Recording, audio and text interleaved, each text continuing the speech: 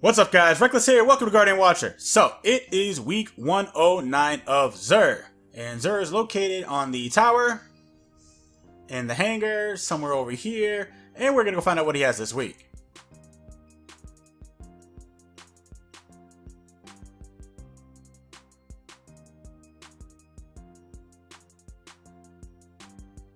Xur! What's up, dude?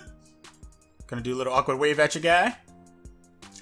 So, like always, we're going to start with the left-hand side. We have the weapon of the week, which is the Jade Rabbit. Then we have the uh, Mechanized Trick Sleeves for the Hunter, the Stag for the Warlock, as well as the Ashen Wake for the Titan. We're going to go ahead and start with the Jade Rabbit. Transit perk on this is Fate of All Fools, which chain body shots to increase precision. Uh, and there's actually a little bit more to that, but it's okay. Then we have Polygonal Rifling, uh, armor piercing rounds, as well as Zen moments. And this doesn't actually come with a catalyst, but they, it does have a catalyst. As well as it comes with two different ornaments, or uh, it has two different ornaments. Jade Jester, and that's what that looks like, as well as Raging Lepus. I hope I said that right. Le Lepus? Whatever, it doesn't matter. So, if you guys don't have this, go ahead and grab it. It's definitely top tier in PvE as well as PvP. Uh, probably a little bit more used in PvP, so I'm going to give it a tier 2 in PvP as well as a tier 2.5 in PvE. If you guys do not know the tier scale, I will put it down in the description box below. Next exotic is the Mechanized Trick Sleeve. Terms of perk on this is Spring Loaded uh, Mounting, which boosts sidearms, especially when you're wounded. And obviously it has uh, solar energy and you can put all these wonderful mods on it as you see fit. Now, I do not see anyone going out and say, "Oh my god, I get a I have to get a Mechanized Trick Sleeves ever." So, I'm this really isn't that good. Sidearms are not in a good position right now as a Destiny 2 Shadow Shadowkeep. So, I am probably going to rate this a tier 3.5 in PvE as well as PvP. That is not to say that sidearms don't actually get kills. But in its current state, sidearms are pretty much trash. Next, we have the Stag. Of perk on this is Dearly Departed, which grants Rift energy when critically wounded, creates Healing Rift on death. And that obviously helps out your uh, team. And this is a Void one, and as the other one, you can put all these wonderful mods on it if you have them. I'm not a fan of the Stag.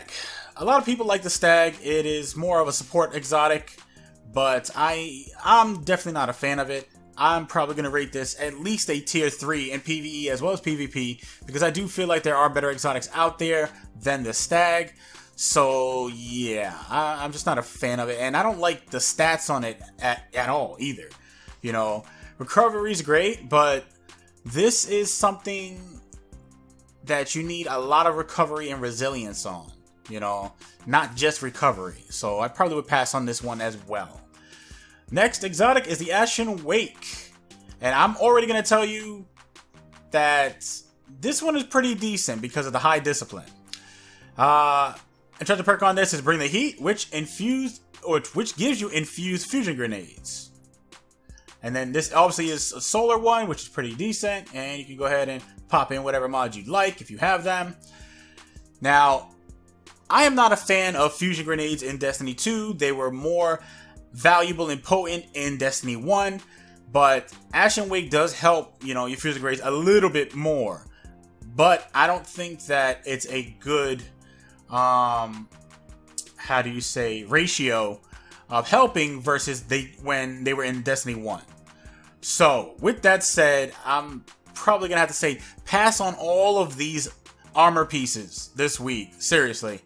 And try to get a better roll somewhere else. I'd probably even see the collections if they have a better roll. But these, uh, I'm not too fond of them. Go ahead and pick up the Jade Rabbit. Just don't worry about this. Next, we have your consumables, which is your Nightfall Challenge card. And then we have your Invitation to the Nine, for which I will never pick up ever again. And then last but not least, we have your Fated Engram, which will still give you Forsaken in previous exotics. It will not give you Shadowkeep exotics. However, let's go ahead and see what we get this week from Santa Xur. And we get a Sunshot, which is an okay exotic, but I probably would have preferred an armor piece. And I already have the catalyst. I just gotta unlock it. And yeah, it's come with sunburn, chamber compensator, accurized rounds, sunblast, uh, textured grip. Yeah, a lot of people saying uh, uh, I'm sorry, sunshot was actually going to be a good exotic come Shadowkeep. I don't see people using it. Then for ornaments, we got Red Dwarf, and then we also got Corkstar. I like Red Dwarf better.